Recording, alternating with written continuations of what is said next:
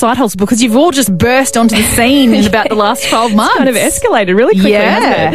Um, Good. I'm, well, I'm still asking myself that question. How did all this happen? Because I guess you would consider me very much a rookie to the music scene, music in general. Like, Okay. I've never done anything like this before. Wow. I've never had singing lessons. I was not the child raised doing eisteddfods and music lessons. None of that. So, um, like, I, I've always enjoyed singing, um, but never actually sort of did anything with it apart from sing at friends' weddings and stuff like that. So, I guess I just sort of surrendered to the thought that I would never be able to pursue singing any further than a karaoke bar.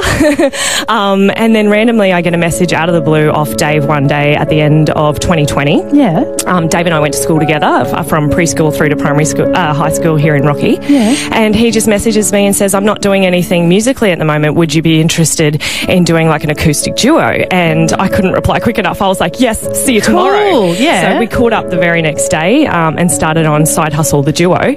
Um, and it was all new for him too because he had never done anything acoustic before. So he'd been in bands before. Nice. So we were the acoustic duo for about six months, gigging sort of regularly with that. And um, our the boys, Maddie, the drummer, and um, Hedgie, Brad Hedges, our lead guitarist, um, was good friends with Dave, and they've played in bands with him in the past.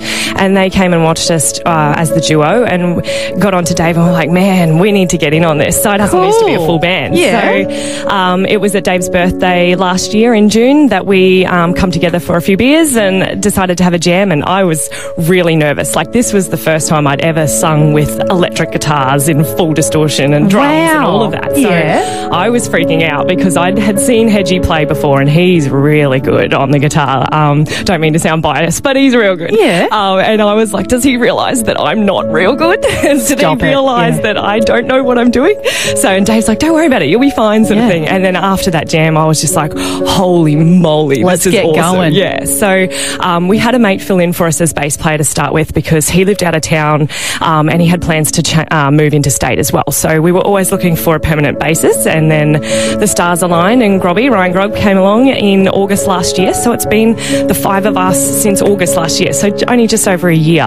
Amazing. Um, and it sounds real corny because we're like full grown adults, but we're the best No. of friends now. Like, we just get along so well. We've got the um, same personalities. Like, we. You are- really need it to be like that, yeah, though. and we jam every week. Yeah. Like, um, it's just a good laugh, you know. And there's just, and I think that's that's it, you know. With that's our love for each other and the passion for what we do is the energy that we bring to the stage. Yeah. And there's just no better feeling when we're on a big stage and I look over and Dave's just bouncing around like an Energizer bunny and Grobby's sort of bopping away, and then I look back at Maddie on the drums and he's just got the biggest smile on his face, and That's then great. Hedgie's like pulling some ridiculous guitarist face, just like fan it out, and it's just so much fun to see how much they're enjoying themselves, and Yes. I'm so proud of them and how far they've come, and I'm just so grateful to have these boys that are so um, supportive and encouraging Yeah, to me and Yeah. pa- like patient as well because I, like I said I know nothing. So I've learnt so much and that's all because of them. So I'm so